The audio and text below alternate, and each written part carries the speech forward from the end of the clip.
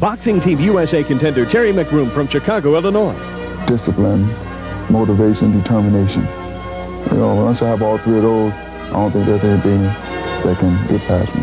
A keen-eye Coach McGroom off the streets and into the ring. Now ranked second in the light heavyweight division, McGroom is ready to turn his gloves to gold. You can achieve great things in life as long as you go after it. America will be watching Terry McGroom. Look for him on Cablevision, home of the 1992 Olympics Triplecast.